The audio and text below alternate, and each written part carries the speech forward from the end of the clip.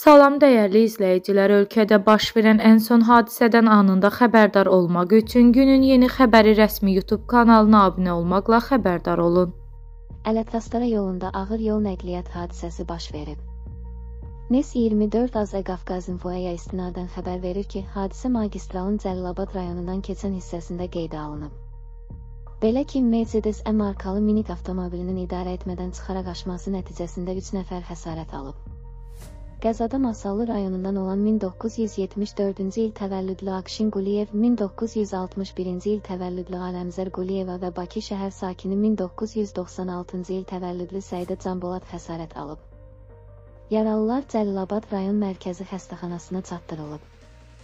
Onlardan ikisinin vəziyyəti ağır qiymətləndirilir. Faktla bağlı araşdırma aparılır.